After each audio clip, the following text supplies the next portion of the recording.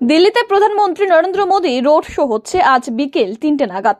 প্রধানমন্ত্রী road show এর জন্য দিল্লিতে যান চলাচলে বিশেষ নিয়ন্ত্রণ করা হয়েছে। প্রধানমন্ত্রীর নিরাপত্তায় যাতে কোনো ধরনের খামতি না থাকে, সে ব্যাপারেও অত্যন্ত তৎপর দিল্লি পুলিশ। সংসদ প্যাটেল চক থেকে সংসদ মার্গ, জয় সিং জংশন পর্যন্ত রোড শো চলবে। প্রধানমন্ত্রীর নিরাপত্তার কথা ভেবে যান চলাচলে বিশেষ নিয়ন্ত্রণ করা হয়েছে। প্রধানমন্ত্রী রোড শো চলাকালীন বেশ কয়েকটি পথ সম্পূর্ণভাবে বন্ধ থাকবে বলেও দিল্লি পুলিশের ট্রাফিকের পক্ষ থেকে জানানো হয়েছে। বিভিন্ন রাস্তা বন্ধ থাকার ফলে কিছু কিছু পথে যানজট হওয়ার সম্ভাবনা রয়েছে বলে সতর্ক করেছে দিল্লি পুলিশ।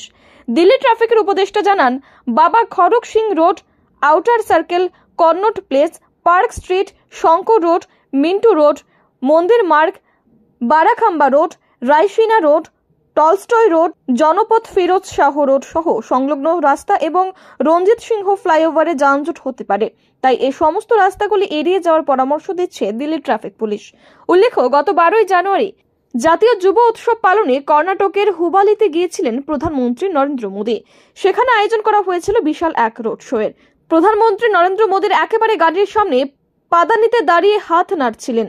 প্রধানমন্ত্রীকে একবার সামনাসামনি দেখতে ভিড় জমিয়েছিলেন লক্ষ লক্ষ মানুষ। সে সময় হঠাৎ করে নিরাপত্তা বেষ্টনীর টপকে এক কিশোর ছুটে আসে প্রধানমন্ত্রীর দিকে। তার হাতে ধরা মালা।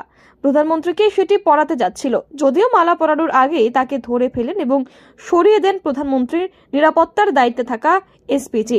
এই ঘটনার পর থেকে প্রধানমন্ত্রী রোড শো নিয়ে নিরাপত্তায় বিশেষ তৎপর Delhi police.